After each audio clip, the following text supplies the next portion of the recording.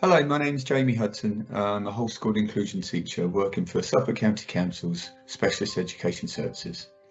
I believe that education in school promotes equal opportunities for all pupils, whatever the age, the gender, ethnicity, attainment and background.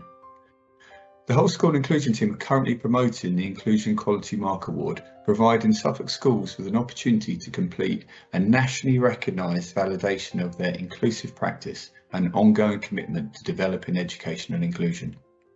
The, Inclu the Inclusion Quality Mark Award helps to celebrate a school's current practice, but also provides an opportunity to challenge. It pays particular attention to the provision made for and the achievement of different groups of pupils within a school. Suffolk would like to say a big thank you to the 40 schools that have registered to complete the Inclusion Quality Mark and welcome any schools that are interested in joining over 5,500 nationally that are completing the process. For further details about this award, please see the link found on this webpage. I think inclusion means acceptance of everybody and being able to provide opportunities for everybody, not just in schools, but in, in the community as well. Think it really allows schools to celebrate what they're actually doing right now.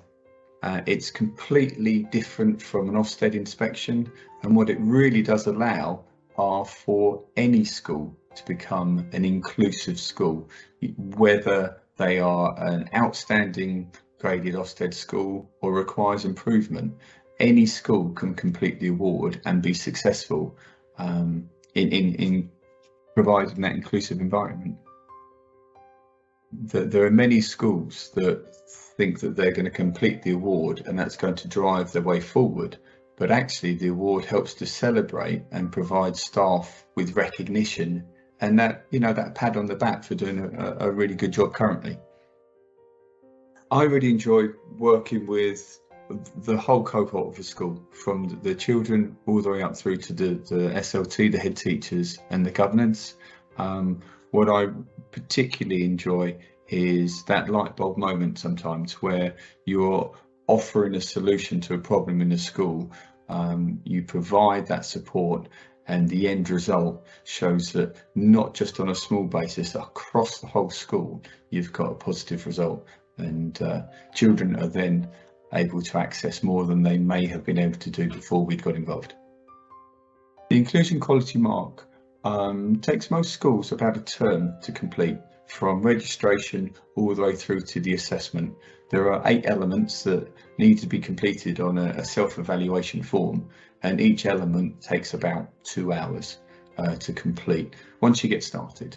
Um, the whole school inclusion team are there to support the schools through the process and the end process is an assessment day where an IQM assessor joins the school and um, completes an assessment on various criteria following the elements, but it's more of a celebration of that school in that day. I think children get to show their, their, the greatness of themselves and the school. Um, the assessments that I've been involved have been so positive and the stars of the show have actually been the pupils themselves.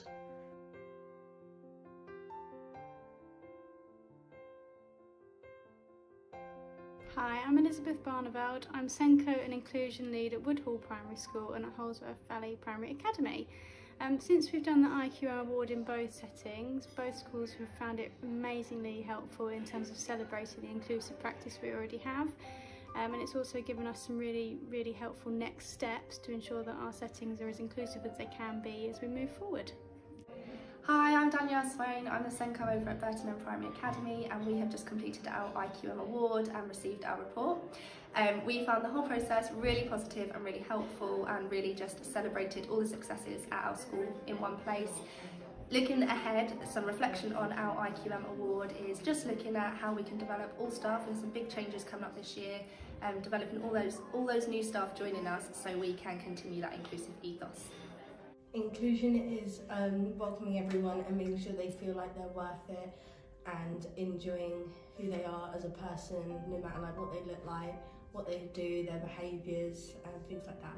And it's also about like what they do as well. So like um, I do diving, so including me because I do diving, like having people who like I have friends who like go do sewing and friends who do like sport. It's just like having a wide range of like people who do stuff.